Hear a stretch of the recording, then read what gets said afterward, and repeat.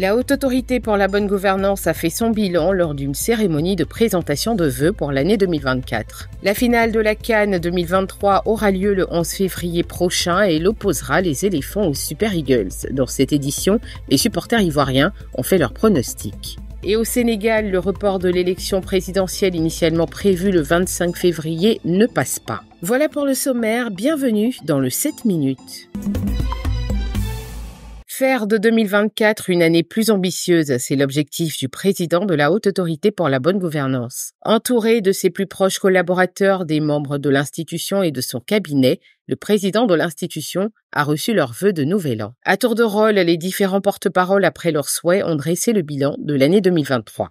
L'élaboration de ma des comme par président des AFCV ainsi que l'initiative le système de de la qualité par la des actions de l'Assemblée le renforcement des activités de volet des déclarations du patrimoine dont le taux a atteint 83% à fin décembre 2023 à travers notamment l'organisation des missions de sensibilisation, les enregistrements des déclarations du patrimoine sur l'ensemble du territoire et le récent lancement par vous-même de la diligence des sommations d'activité réservatées par fois des commissaires de justice.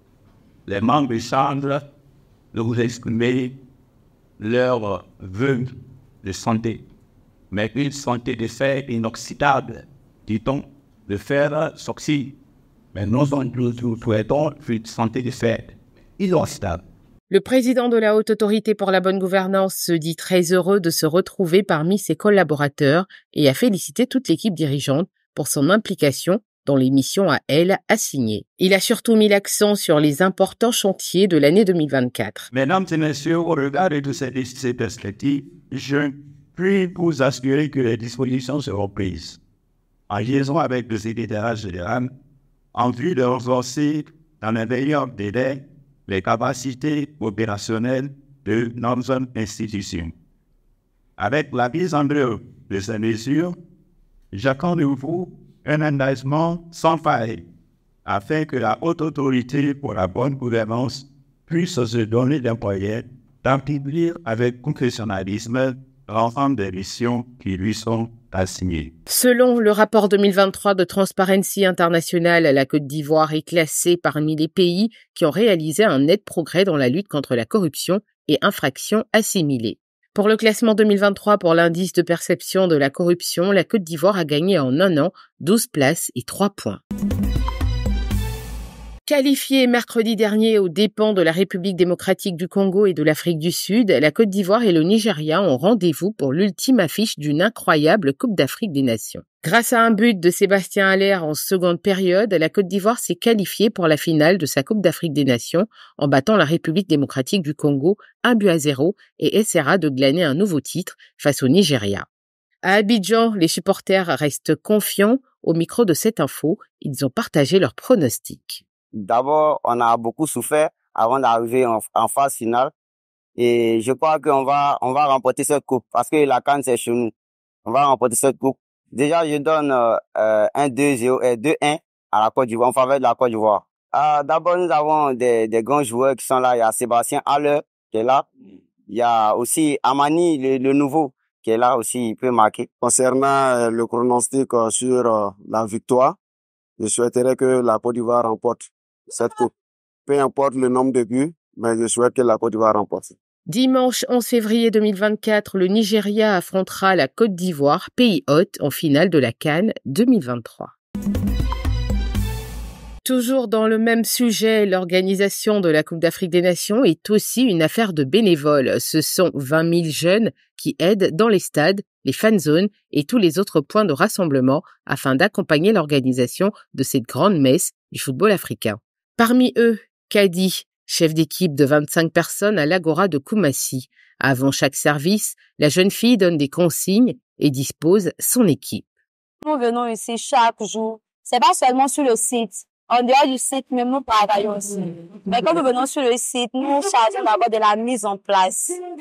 La mise en place, c'est-à-dire à s'assurer ce que les lieux soient propres, placer les chaises, tout et tout. Après ça, quand les, les invités commencent à venir, on essaye de faire la sensibilisation sur le fait afin que le résultat des matchs n'ait pas de dégâts sur le site. Ça se passe très bien depuis le début de la nous sommes occupés avec bien. Après les consignes, place au déploiement dans ce village Cannes. À chaque bénévole, un rôle précis.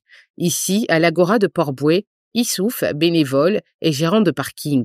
Objectif, faciliter le stationnement aux différents participants du site. C'est si important parce que les véhicules ne peuvent pas venir garer, stationner en désordre. Il faut qu'on les stationne dans un lieu précis et après le match, ils vont sortir. Depuis la carte, nous sommes à l'aise et aussi le travail se déroule bien. Sur le terrain, le travail des bénévoles est fort apprécié par les participants dans les différentes fan zones. Je trouvais que le bilan est positif, même très positif. Parce qu'au départ, on avait des appréciations. Je pense qu'au vu de tout ce que les bénévoles ont fait sur, ont fait sur le terrain, ils sont très satisfaits. Ils ont mené à bien leur mission avec enthousiasme, avec énergie, avec conscience nous sommes fiers d'eux. À l'initiative du ministère chargé de la jeunesse, les bénévoles au nombre de 20 000 participent à l'organisation efficace de la 34e édition de la Cannes 2023. Déployés dans les villes accueillant les matchs, ces jeunes ont pour objectif d'accompagner l'organisation dans cette compétition. Et hors de nos frontières au Sénégal, la nouvelle plateforme politique sénégalaise Arsenault Élections, qui veut dire protégeons notre système électoral, a appelé les citoyens à se mobiliser en masse dans tout le pays et dans la diaspora pour condamner le report de l'élection présidentielle.